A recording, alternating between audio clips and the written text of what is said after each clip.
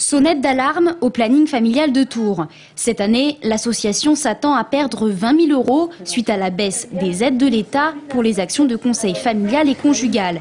Conséquence, c'est le fonctionnement de la structure qui va sans doute être revu. Ça veut dire moins d'actions sur le terrain. Euh, au niveau des salariés, peut-être moins de salariés aussi? Mais pour l'instant, il n'est pas question de fermeture pour le planning familial de Tours. En effet, l'association a d'autres financeurs importants sur lesquels se reposer. Nous allons leur donner 25 000 euros par année alors qu'ils avaient euh, à peu près 1 euh, 000 euros euh, jusqu'à maintenant. Donc 25 000 euros par année donc sur trois ans.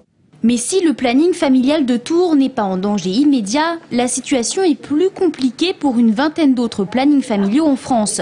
Cette baisse de crédit, c'est pour eux un risque évident de fermeture. Mais le mouvement français pour le planning familial ne se laisse pas faire.